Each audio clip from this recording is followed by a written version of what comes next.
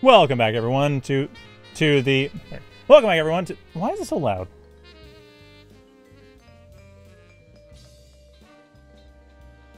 Welcome back, everyone, to the the Lobster Roll Series Week Three and losers quarterfinals. We have Steel Blue versus Bloa, and we're going to be playing on Cobalt Dream again. Hope y'all like this map, because it's getting played a lot. Clearly the players do. So I hope you, the audience, likes it, because that's what we're seeing. Although, in a change of pace, Steel Blue is going for Rovers. Hey, it's not tanks. Rovers. They're not tanks. Alright. Bloa, on the other hand, I'm not sure if they've picked anything yet. I think they are Maybe still working on connecting? I'm really not sure what they'll go for, but probably it'll be tanks. Yep, it'll be tanks. So we have tanks versus not tanks. Steel Blue, definitely the favorite to win this. They have, I mean, they got a lot more experience, and I think they're also higher rated as well. Though, I gotta say, Bloa is a contender they have been making strong showings. It's more a question of how quickly they're going to be able to get their economy up, how quickly they're going to get their army up. We're seeing Steel Blue immediately going out with the dart. Just for a bit of scouting. Not really going to get any major kills in. But it will at least get them an idea of where Bloa's base is, or how Bloa's base is arranged, and maybe get a few hits in. It's it would actually be useful against the Kodachis now that I think about it. And I really am curious to see what happens. Proper Rover versus Tank. Because I think Dart Scorcher versus Kodachi with the Dart slow is actually not... I don't know if it's that in favor of Kodachi. Part of me feels like it would be, just because Kodachis are definitely strong. I mean, you want to make sure that you're dealing with the fact that they're constantly shooting fire at you. But at the same time, you slow them down, that kind of ruins a big advantage they have with a fire rate. Anyway. Steel Blue coming in, slowing down a Metal Extractor, which does indeed, very apparent, very clearly, it does slow down the Metal Gather rate, which is a neat little trick. Has slight bit of harassment, nothing major, but it's a fun little thing you can do. It's a party trick. Show your friends.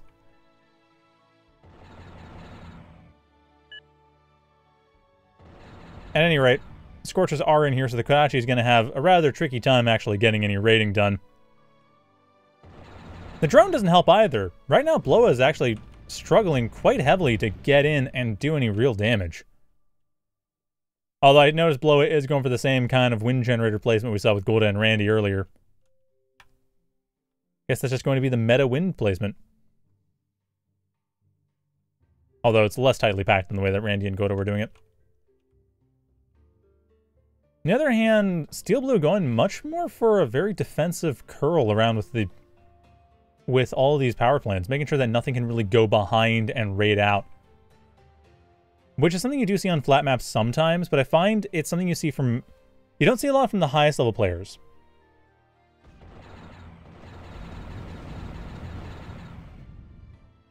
And I don't...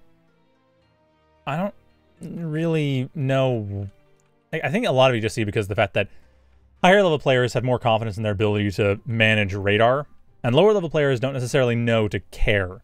But it's like mid, mid, high level players that will build this out because it's just, it keeps them safe. You have to build power anyway. And it's doesn't require as much constant attention to radar. Because if something does sneak in, it can't hit the factory from behind. At any rate, though, Steel Blue is definitely putting themselves in a very strong position. They've defended beautifully. They're... I don't know if they're looking to attack. They do have a small group of raiders coming in here, but for fighting tanks as rovers, the one complication is that welders do shoot, and they deal 45 damage a second, which isn't nothing. Especially when your main raider has 480 health. It's like 11 seconds and they're dead.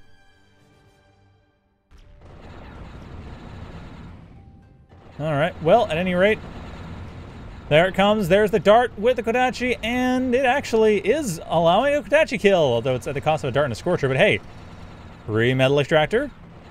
Another free Metal Extractor, maybe? Uh, it's not free. Nope. But a Metal Extractor is gone anyway. Oh, it was free! The Scorcher got away! How about that? And a Leveler at the front, or the Ripper rather, on the front side too. Getting rid of another couple of Metal Extractors. Really damaging Bloa's economy. Reclaim is still there, but it's not going to be enough, especially as we have more darts coming along the side. Not sure what they're going to do besides cheekily slow down metal extractors to reduce their production, but hey, 10 mil per second was just removed from Bloa's economy. Steel Blue is looking strong.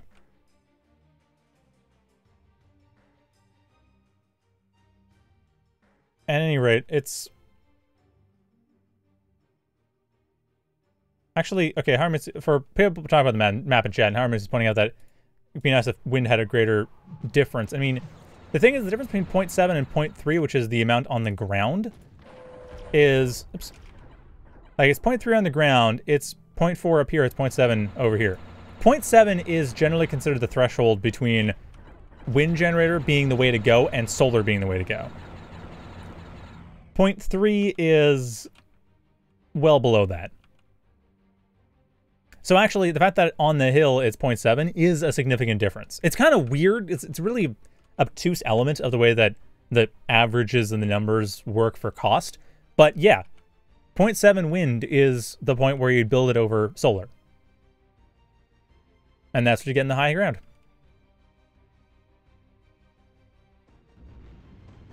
So there is a positioning difference. It's just weirdly obtuse. At any rate, position difference or no, Bloa has actually managed to recover reasonably well. Getting, getting blitzes up on Kodachi. The Rippers are having a hard time actually maintaining a position. I do like that Steel Blue is, switching, is getting up the Caretakers to do this, and it looks like they're, on top of that and the power economy, they are clearly looking to get some reclaim going. I will, of course, point out that there isn't a whole lot of reclaim on the field. It's pretty limited so far. A bunch of, uh, eh, maybe 500 or so. Most of it's inside of Bloa's territory. So at the moment, not really the most useful. But it could eventually become a thing. Also, Steel Blue penning in Bloa. I'm not sure. They've got to be aware of Bloa now. Their commander's right there. Yeah, the radar's totally there. They know. They, they know. But it was a good try. Bloa looking to try to defend that, break through the line of metal extractors. No real defense is in the way, so it's not a problem. Trying to hold on to make sure this proxy cloaky factory comes up. And nothing is actually really significantly stopping it. I think that factory is going to come up anyway. I mean, a lot of these forces coming in from Bloa are going to be killed inside of a Steel Blue's territory, which means, of course, you know, a few hundred metal reclaim. Steel Blue's commander also coming in here, and it's not going to be here in time. The factory is done. Not sure if it's going to build anything. Almost might as well. I mean, he went all through all the trouble of making it, but no, Bloa is not there, and that is... That is huge. Oh, they've lost this. I think this is it. That was... That was a weird... Almost... That was a cheese play, kind of. And now it's just metal donation. They're going for Glaives, and that would have been actually not a bad idea overall if they hadn't been spotted. But it got spotted. Because the commanders have radar. They can easily see what's going on around there. So with that, now Steel Blue with 700 metal worth of reclaim and Bloa having wasted two minutes of production. Yeah, Bloa is... They're far behind. They're super far behind. I don't... I I mean, I can see maybe one good battle. Though Rippers against Blitzes has uh, so far worked out in favor of Rippers.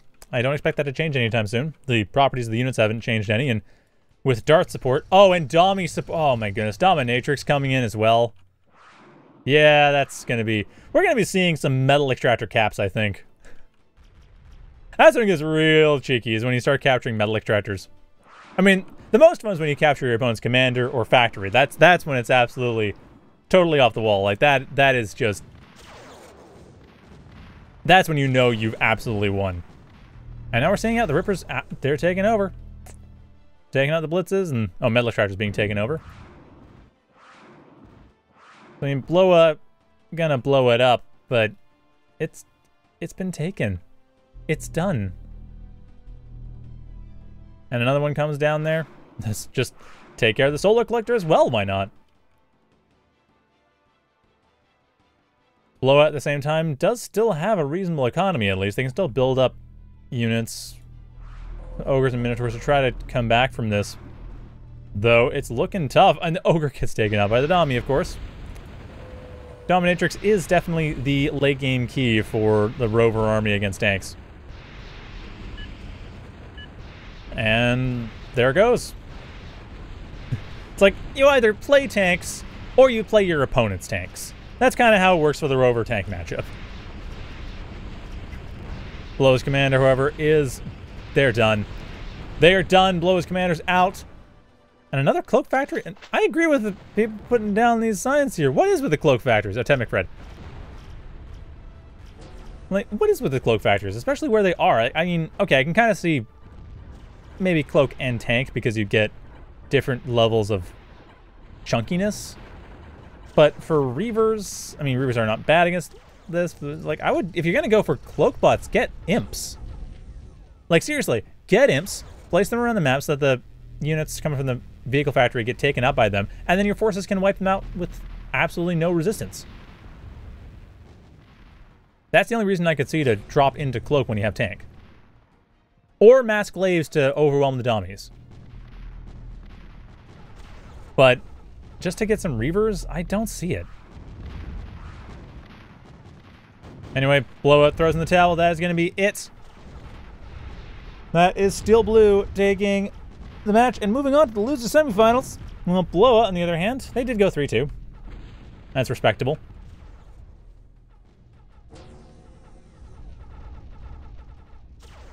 But I still don't understand what their motivation was with the Cloakbot Factory. Like I said, for what they're doing, what they're facing, I could see using for imps. I could see maybe using it for... I could actually see using it for the Spectre, or the Phantom, because the Phantom would be able to take out the Dominatrix without issue. Like, with just one-shot dummies. So that's totally understandable. Overall, though, yeah, income's about the same. Steel Blue's army massively... Well, Steel Blue's army got bigger because of largely attrition. Metal use was basically even. so yeah, that is going to be the losers quarterfinals. So we'll have the losers semifinals in just a moment. Maybe I'll just do the entire losers bracket as one video. I'm just debating what to do because I'm feeling like I'm going to have so many videos on YouTube that I... Let me think. I had round one, quarter, semi, final, four, quarter... I think I'll do losers semis and losers finals as one one video. Or no, wait. No, I'll keep going with this one. We won't take a break right now. We'll just keep going and I guess wait for the next match. Yeah, I suppose that'll work. Alright. I think I'm giving you two guys too many peeks behind the curtain. So far, though, we are waiting now on Steel and Bloa to get their Smash.gg stuff sorted out. Once that's done, we can move on to the loser semis. I believe that's going to start pretty well right away. Oh no, we're already into setting up the next match.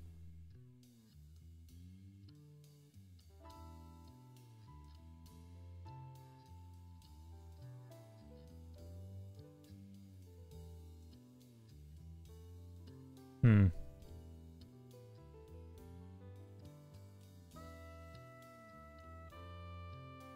So yeah, it looks like we're going to be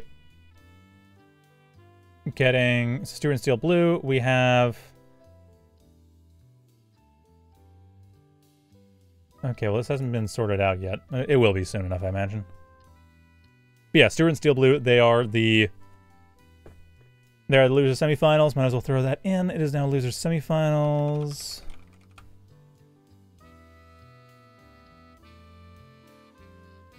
So yeah, I'll just keep going until the end of the losers finals and then take a small break and then come back to the grand final, which is going to be BO3.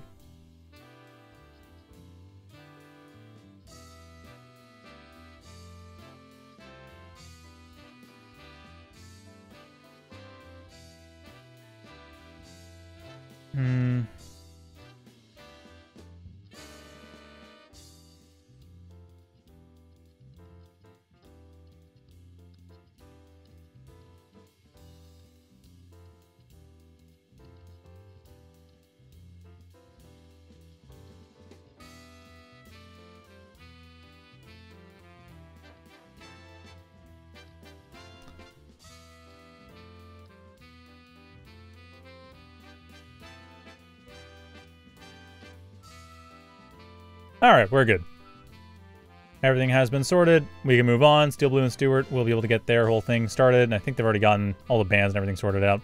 Well, the map bands, I should say. All that sorted out. Because yeah, for those of you not familiar, I mentioned earlier, the way this works is that each, the the bottom seeded player gets to ban four maps out of a pool of 10. And then, and unfortunately I don't have the stuff set up to actually show it easily. But they ban four maps out of a pool of 10, and then from there, the remaining six maps, the other player gets to choose.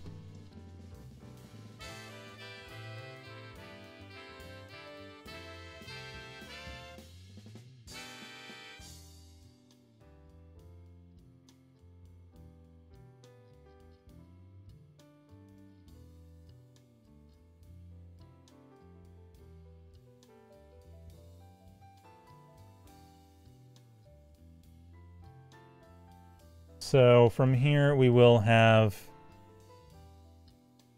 Okay, we're just waiting on who's going to ban what. Ah, come on.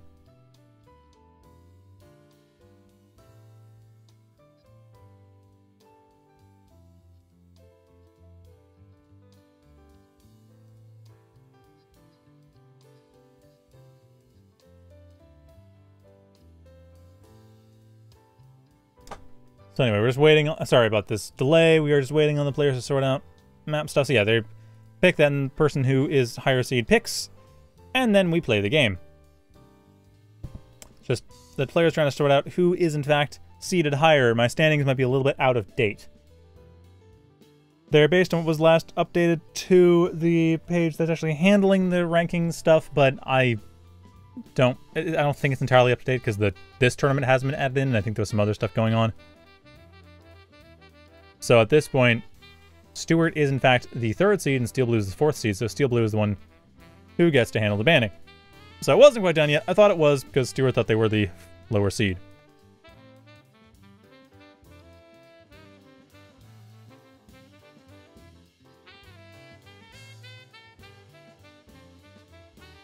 Just gonna wait a bit. I mean, it's this is kind of a soft break. I just don't want to split the video. That's all. And if I take a proper break, I'm to have to split the video.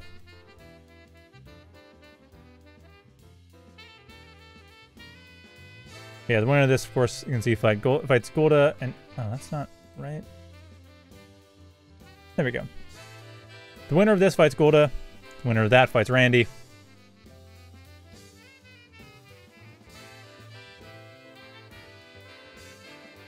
So we are back to Cobalt Dream, of course. Okay, I hope Cobalt Dream and Red Comet aren't in the next pool. There's big for some variety.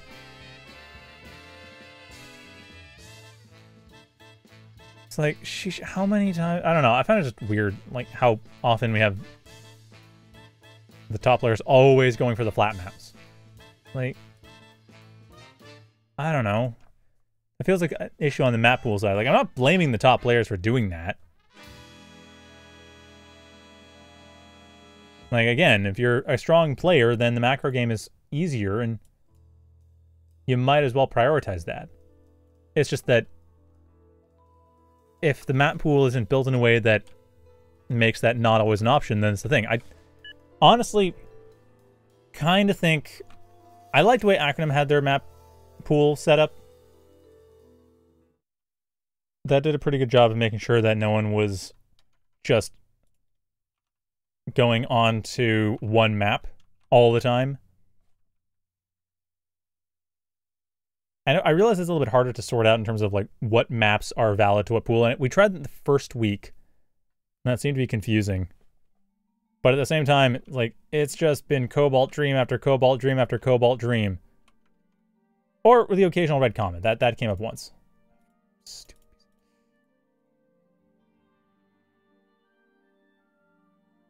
Ah. All right. I really ought to just put the ambient occlusion in a widget. Anyhow. The... Yeah, so Stuart, go for tanks. Everyone go for tanks. So is tanks. Tank v tank. We don't get to see a nice tank versus rover mirror like we saw last time. It or not mirror tank versus rover match. It is a tank mirror on Cobalt Dream. Welcome to the Lobster Roll Weeklies. Hopefully this is something that the map pool is adjusted for next week. It's like, yes, I am sorry. I'm a little unhyped for this, being that this is the 12th match on Cobalt Dream that I have seen today. give or take. And I think the 10th tank mirror that I've seen on this map in the last three hours. I am a little bit tired of Cobalt Dream.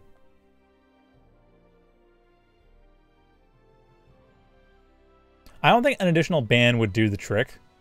I mean, Harmony's pointing in the chat that the next tournament is going to get Comet patched out and the ban will be added. It's like, okay, that's great, but I think it's more that there might have to be like a couple of pools. Maybe not like one pool per round like with the Swiss tournaments, but maybe like a pool for not semis and finals, a pool for like winners before semifinals and finals, losers and winners semifinals and finals. Like semifinals, finals, grand finals. Something like that.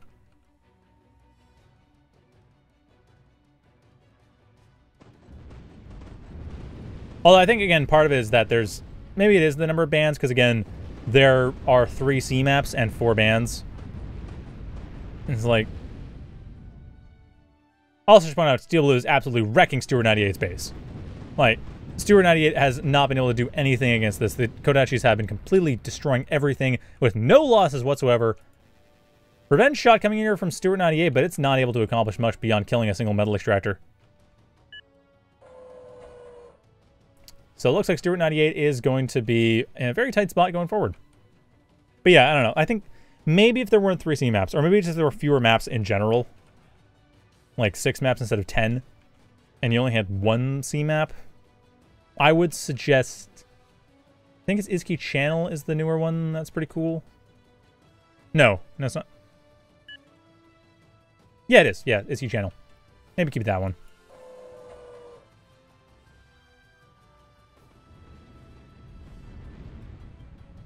So yeah, Steel Blue at this point, though, they are... Actually, they're kind of falling behind a bit. They've...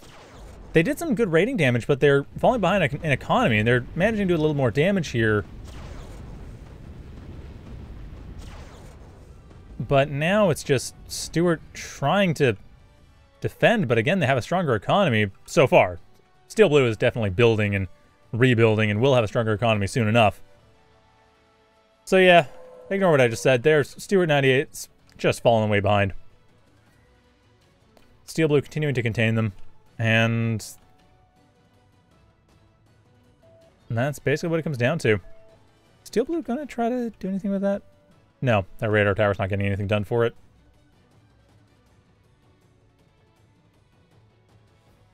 So as it stands, Steel Blue is just... They are just keeping Stuart 98 in check. There's not letting anything happen that they don't have control over, and although they're not expanding as quickly as I expect them to, they are still expanding. Yeah, Commander going down the side. That Kodachi has no shot of living whatsoever.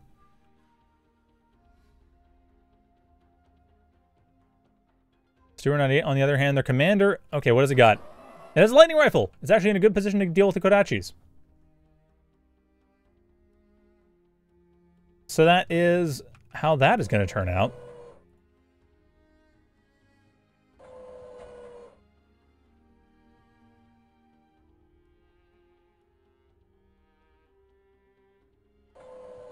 But anyway, with this, we are going to see a very likely 10 minute or less game. I'm, I'm just, I mean, we're seeing the blitzes come in. They're doing some damage. They're getting rid of some of the Kodachis. That's good to see.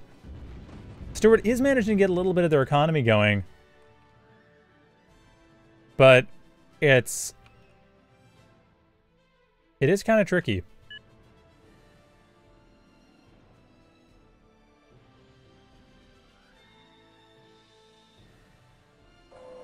But yeah, I mean, the thing is, we're on Flatmaps. There's some discussion going on about why water is hated. Like, the thing is, What's hard to understand, what it's hard to realize at first is that 0K is three different games. There's 0K on flat maps, which we're seeing right now. There's 0K on hilly maps, which you saw a bit on Bandit Plains. And there's 0K on C maps, which we did see once on Shimmershore. And the thing is, those are three very different games. The factories used do not overlap. There's occasional overlap between hilly and flat, but by and large, what works doesn't overlap. The factories are different, so it ends up being different games. And the flat map game is probably the easiest one to learn. You don't have the variable of terrain height and cliffs to worry about. You just have to worry about getting a lot of metal, building a lot of units, and positioning your units reasonably okay. Hill game is a little bit harder to learn because there's, like I said, height differences. And you also start pulling in factories like spiders and jumpbots alongside Cloaky, which have a lot of tricks going on that can be difficult to deal with and require a lot more lateral thinking. And then C maps are, again, mutually exclusive factories, but also you have to deal with the whole underwater on like underwater and surface dynamics and how to sort that out. Granted, the currency is a bit easier to learn, but still, it's a different game. So that's kind of why it's hard to have all of these different maps going on because essentially you're trying you're asking the players to choose which version of 0k they want to play. Just because of how different the dynamics are in different maps.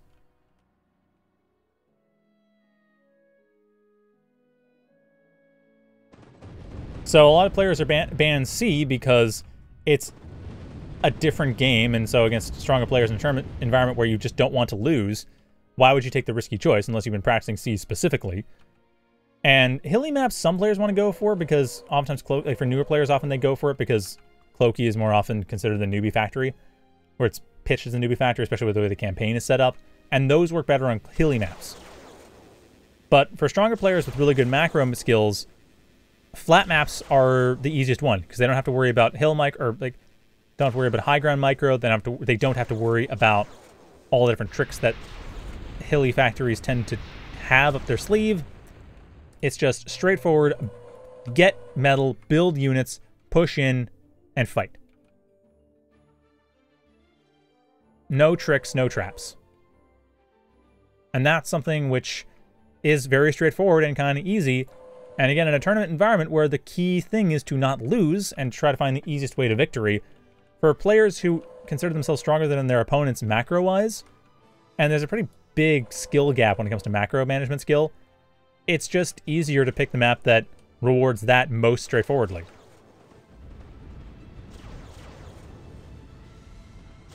I have to be fruity pointing out in the chat. We saw go to build urchins, but it's like, yeah, no, that's that's a misclick. I knew that was a misclick. Go to saying was a misclick. That was absolutely a mistake. I don't even... I don't know if this map even has... I don't think this map has water under it. I haven't tried digging, but I don't think this map is lying on top of water. I think you just keep digging.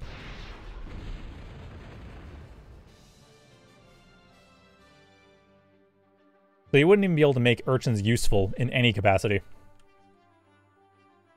But yeah, that's basically what it comes down to, is that the... It's like, you pick the safe choice, and that's why you get tank mirrors. That's why you get flat maps. It's just...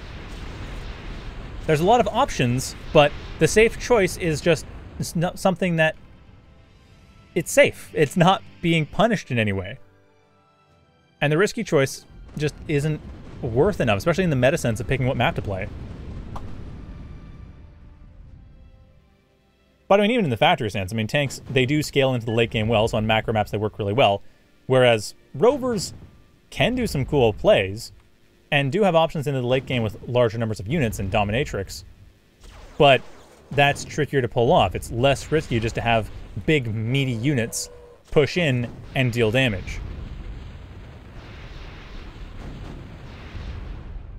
Like, that's always the thing to bear in mind. It's not a matter of how... Not, players aren't trying to win in the flashiest way possible. They're trying to avoid losing. As a general rule.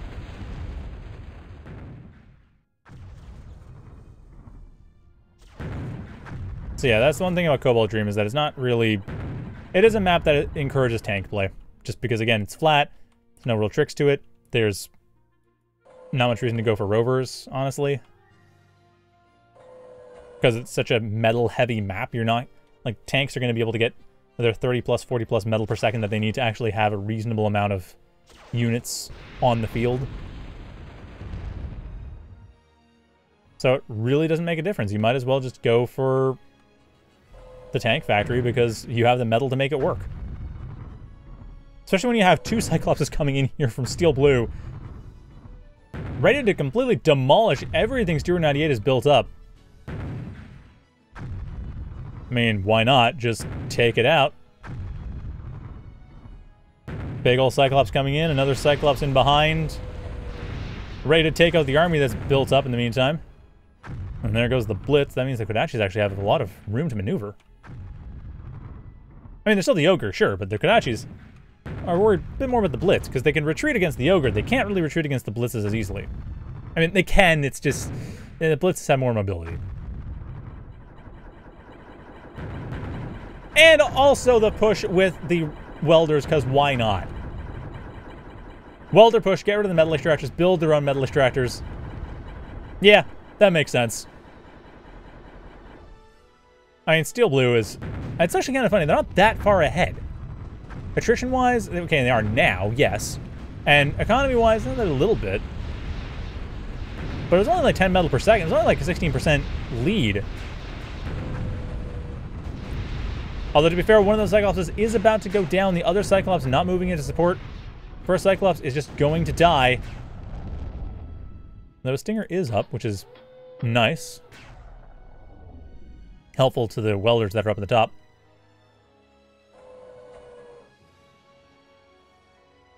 But now Stuart 98 has lost a ton of their economy. They lost a ton of their position. It's just going to be a matter of building up more metal extractors, and Steel Blue's going to turn this game into a complete blowout.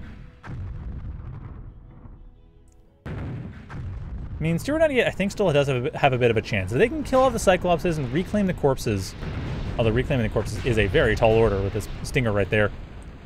But if they can do that, then there is a shot it is a long shot, as they are losing units, losing expensive units very rapidly, and the Cyclops is also being repaired. So it is a tough, it's a very tough thing to do. And I don't say, no, it's not, no. Steel Blue is playing this really well. They're making sure to avoid losing the Cyclops. They might lose, they'll lose a welder or two, but they're absolutely stringing Stuart along as far as attrition goes, and more Cyclopses are on the way. Steel Blue does have now a 30 metal per second advantage, even though they're not spending all of it. They do have the metal to spend. It looks like they're going to get some caretakers up in order to do so. So with that, like, they can at least put Steel Blue or Stuart in a position where they're just feeding metal. And that's what we're seeing. Just a bunch of metal feeding. Like, this is... Actually not so bad. Only one Minotaur died in the territory, but Still does amount to about 2,000 metal worth of reclaim. Which, to their credit, Stuart 98 is taking as much as they can of. And that's absolutely the right move. I mean, they lost their worker, but they did take a lot. They did take some metal in the process. Not quite enough to pay for the welder, but still, it was a good move. I, I don't disagree with it, even though it was it was countered, but it was the right call. However, at this point, it's actually Stuart 98's reclaim field. Stuart 98 has gotten this all to themselves. This is their chance. If they have any chance in this game to come back, it is right now sending three or four welders over to this reclaim field and grabbing all of it. Using that to even out the economy differences between the two players, and then turning that into a massive lead. Because the one thing that's different between the two players is that we see Stuart 98 has the plate as well as the main factory, while Steel Blue is entirely focused on building up Cyclopses. And welders, but mostly Cyclopses. And Cyclopses are great against really heavy units, but they aren't really meant... They, they could fall apart to attrition. I mean, it's going to be tough, because, of course, they are very beefy. But again, they're not that super awesome against large numbers of units. So this might not be the best overall strategy for Steel Blue compared to the way Stuart's got this played out as far as defense goes. But again, Stuart needs to have like three or four welders over here, and already Steel Blue's way ahead of them on that front. Stuart kind of lost their timing chance here, and that might be it. Stuart having lost the ability to reclaim this area effectively it strikes me as a major blow to their ability to actually get any real economic parity with Steel Blue and potentially get back in the game. Yeah, that welder, not even being paid attention to, it's just going to go down completely unremembered. Stuart forgot about it. It's totally, it's unremembered. I say what I say for a reason.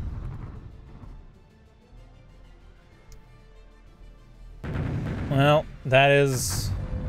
That look to be it then. Stuart does have a Cyclops of their own, at least. That's something. But Steel Blue, they're ahead on attrition, they're ahead on economy, they're just pushing everything. And they're reclaiming a ton as well. Although a lot of it is being lost to excess. Actually, I'm kind of surprised they haven't set up an air factory or something. What are they setting up here?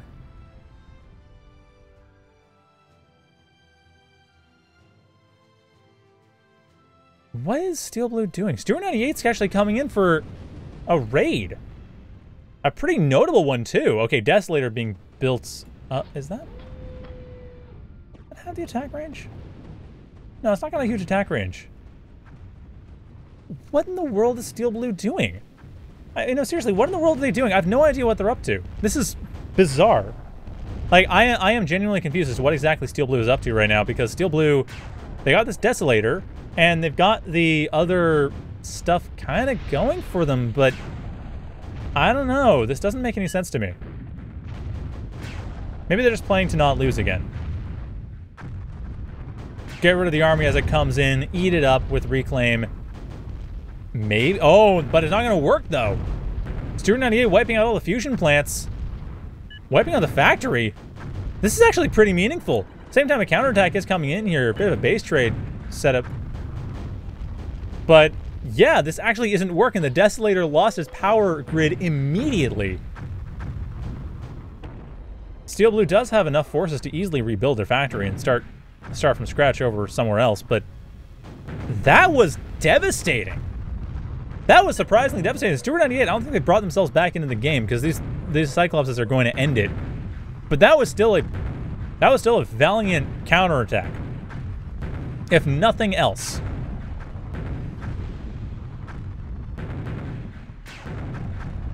This is...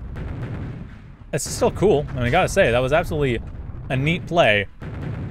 But Stuart 98 had nothing to back it up, and that is that.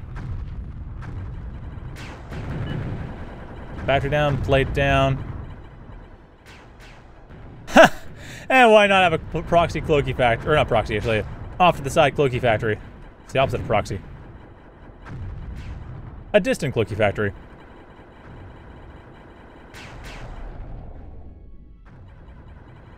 I I have no idea what the players are even doing anymore. I think they're just tired.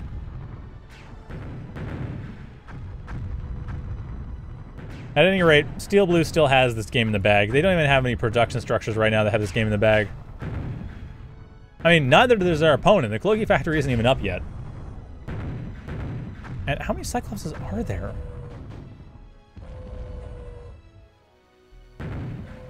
There are one. There's one Cyclops belonging to Stuart and seven belonging to Steel Blue. That, that I think is that. There's, yeah, like Steel Blue is taking over Stuart's base. Stuart has nothing except the one cloak factory in the corner.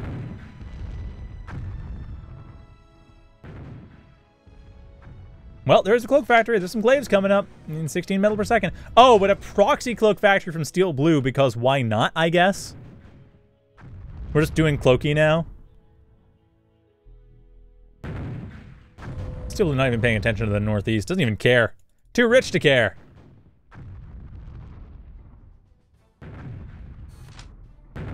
Cyclops costs 2200 Randy.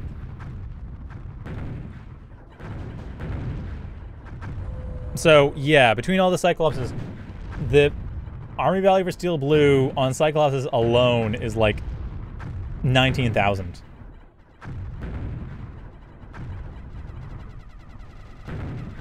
Actually, I could double check that, because that Cyclops there is going to die. Oh, sorry, we lost two. It's only six now. Still quite a lot. But it's, it's yeah, at this point it'd be about 1,100.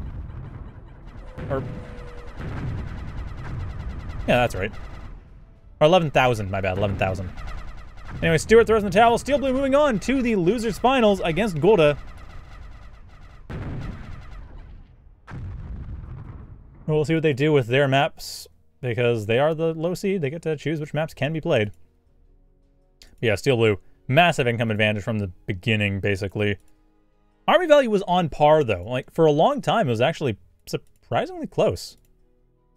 Steel Blue looked like they were building defenses more than anything.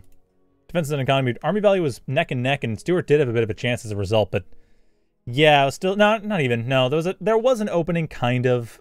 I think maybe in the middle, but don't know, they couldn't. They didn't really have enough units to take advantage of any openings. Not relative to Steel Blue.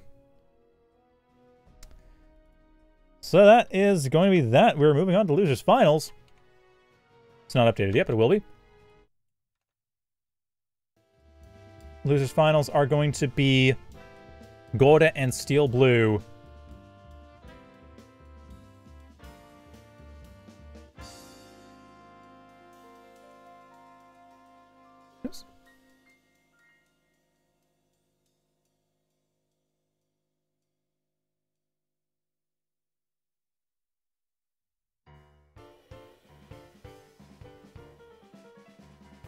Not sure we're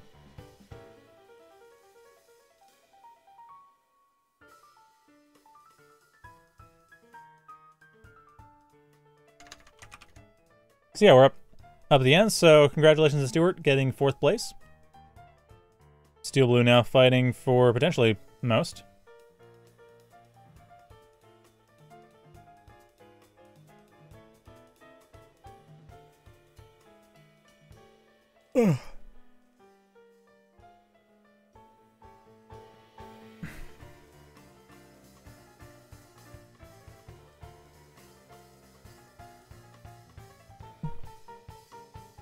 Just realized Godde isn't in the standings. Huh. I guess they weren't playing the last couple weeks.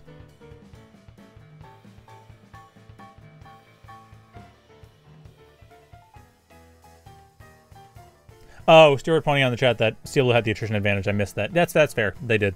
They absolutely did. Yeah, just from the early Kodachis onward.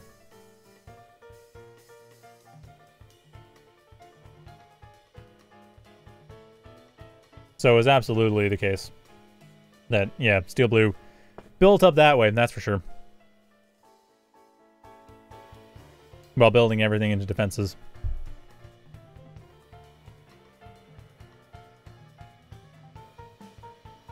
Alright, still with their bans, and looks like we're probably going to have Cobalt or Red Comet again. Banning Mech, Sparkles, Frosty Cove, and Bandit Plains.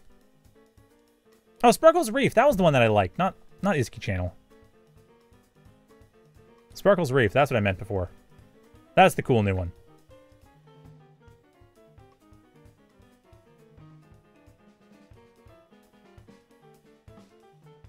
Uh...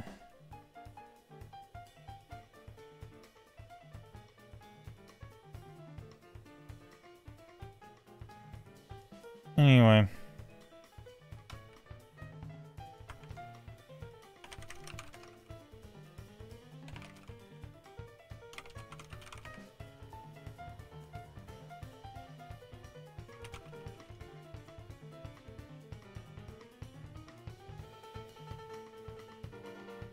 I really GoogleFrog's not here. Anyway. We have... So yeah, we're on to the second last match. Godde is... Is it BO1? It's BO1.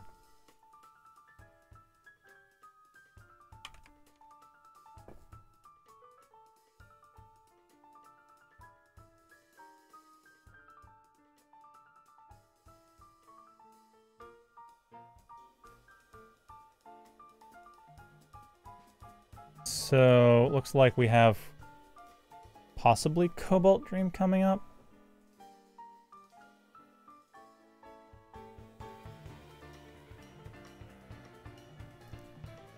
Well, anyway, Godde gets the choice, and Cobalt Dream is definitely on that. Oh, Godde's going in Red Comet. Oh, giving me a bit of a break from flat map land to go to flat map land. But it's horizontal flat map land instead of vertical flat map land, which to be perfectly honest, I actually prefer. Not gonna lie, Red Comet's actually more more interesting map, partly because of the fact that it is wider than it is tall, so it's easier to get in the whole camera, and partly just because, again, it's got a lot more terrain variation going on.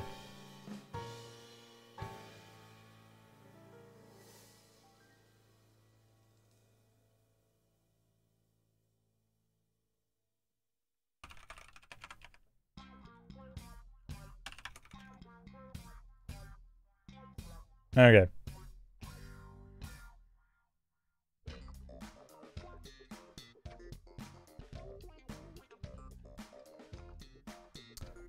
So we're on to Red Comet. And we are at least going to see something a bit different. A tank mirror Red Comet, not a tank mirror on Cobalt Dream.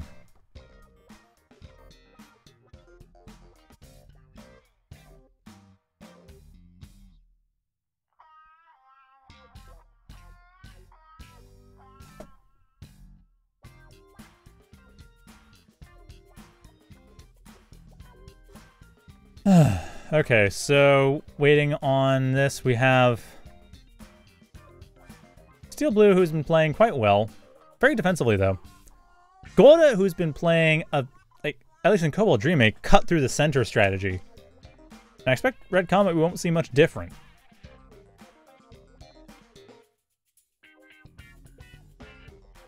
But then again, Red Comet tends to get that line going. I think Godde is going to be just expanding along the bottom of the map rather than along the middle.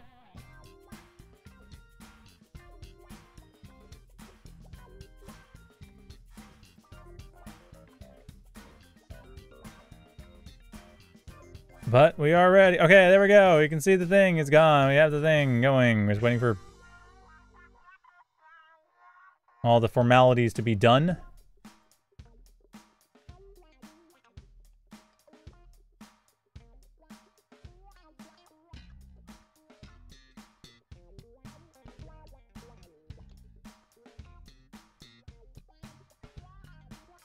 Uh, forget I'll deal with this stuff. Oh. Never mind, they got it sorted.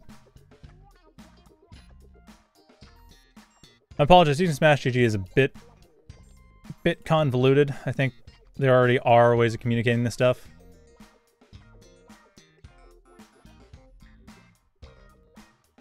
I don't know. This is clearly... Oh, I think next week we'll be using Challonge back to that because it's just more straightforward. But we'll see. I don't know. I mean, Smash.gg gives a lot of options for how reporting can work. I think in this case, just we're getting a lot of growing pains or learning pains or whatever. Trying to get used to it.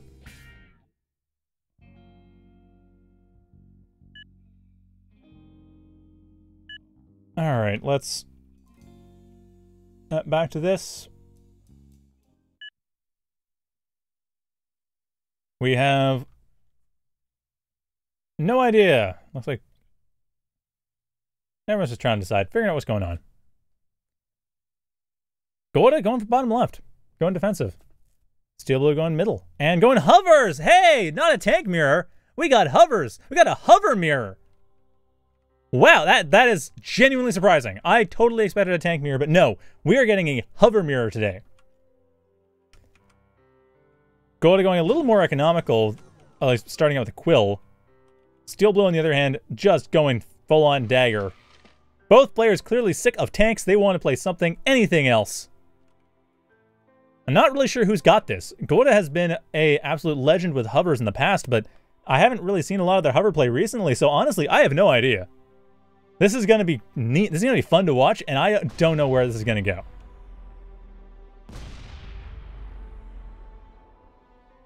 And uh, it looks like so far it's going to be possible mutual suicide. That's not ideal, but Steel Blue's got the slight advantage when it comes to attacking. I mean, they have more daggers coming in. They have no quills, though. They're just building non-stop daggers. But I mean, their commander can do their job, so that works. And looks like Steel Blue has... Yeah, they got the radar coverage on that dagger. They're going to intercept it. Godde is not going to be able to keep the dagger alive. There it is. That's gone, and Godde has no way of scouting or getting in, and Steel Blue has four daggers. Three daggers. Three daggers. And should be able to defend no problem. Also heal. Oh, that that is clever. Just healing them enough so that they don't get one. They don't get two shot. They get three shot. Steel Blue knows what they're doing. Like Steel Blue's got that. I got the right idea. They know what they can work with here. Oh, no, sorry. It's crazy in chat. It's Smash.gg. I, I use it for... I've used it when I've been playing in various fighting game tournaments. I It's... It's really good for big tournaments where you have a bunch of different brackets or a bunch of different events in the same in the same tournament. For what the lobster roll stuff is doing, it's overkill. And has honestly been kind of confusing to people who are coming in to play it. Anyhow, back to the game. Steel Blue continuing to defend themselves quite nicely, though Godde, they're using that as a distraction. They're building in the process. They don't really care. Steel Blue, on the other hand, has to deal with the fact that they haven't defended stuff well, whereas Godde, they have some Lotuses around, along with some power plants to kind of get in the way. Like, it's not... Steel Blue, on the other hand, they're being very naked in their expansion. On the other hand, they do have the daggers to make it potentially a good punish play to come in here. It's going to be tricky, though, because there are still, of course, all of these... All these Lotuses.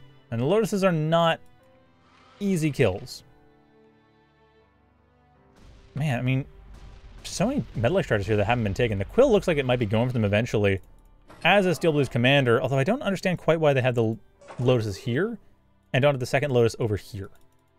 So I feel like if the second Lotus was over here, then they'd be able to defend against where the units would be more likely coming from. Or maybe where this one is, and then this one would be over here. So it would cover all their bases. But the way I have it set up now, it just... I don't know, that's a really tiny nitpick. But yeah, that's... I don't know, defense... Defense placement is weirdly important because you generally don't build very many of them.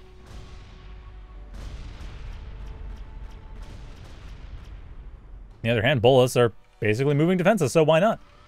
Still, though, we don't see Steel Blue actually doing a lot to punish Godde being as aggressive as they have been. Godde triple plate as well. They are going mass daggers. I mean, that's how Godde plays hover, but like, they're absolutely going for that. That's that's just what they're doing. Mass daggers all day. And now we're finally seeing an attempt to punish, but by now, Godde has already built up an army. Steel Blue actually falling quite a bit behind in terms of economy, losing a Quill, too, for basically free as well as several metal extractors. This is a massive blow. Blue definitely going to try, but already on the first Alpha Strike, losing basically all of their daggers. The Bolas is still able to come in here, but the daggers are all dead. The last remaining dagger goes down. The Bolas is now stuck, staring down death. Taking out what they can in the process, but that was a suicide mission.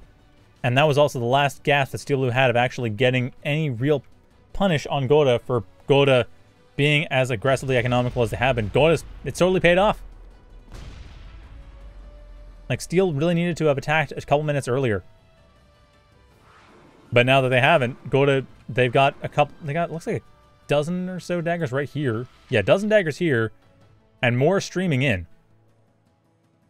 So Godde overall, they are essentially, they're essentially dominating this game. They're, this is their game to lose. They've got and they have no problems. They're getting rid of Steel Blue's commander. They're getting rid of a lot of Steel Blue's expansions. Steel Blue's only real presence in the map outside of the main base has just been heavily threatened. It's basically, it's dead. It hasn't been killed yet, but it is dead. Steel Blue, however, to their credit, is rebuilding and setting up defenses and trying to do what they can to get back in the game, but unless they get a really amazing dagger flank, and even possibly then, that, that ain't happening. Like, it's just a matter, it's just, if they got good positioning, but Steel Blue is point moving everything. If they were line moving, at least they have a chance. I know I harp on this all the time, but it's just, daggers close, daggers have a line splash. So if they're close together, they end up getting all hit at once. As we see right there, like, Godde's not really losing any daggers. That was the same number of daggers on both sides, but Godde just didn't have it. So that is it. That is that. Grand finals are going to be Randy and Godde in a rematch. So, how is that? Steel Blue, congratulations getting third place, but oof, that's that's gotta be tricky. Anyhow, we are going to be moving on after a break to the grand finals. Stay tuned for that, and we'll be back. I'll have the tournament organizer, Crow, or Psycho, or whatever they call themselves. They seem to have different names for everything, helping me co-commentate. That should be fun. Anyway, stay tuned. Back in a bit.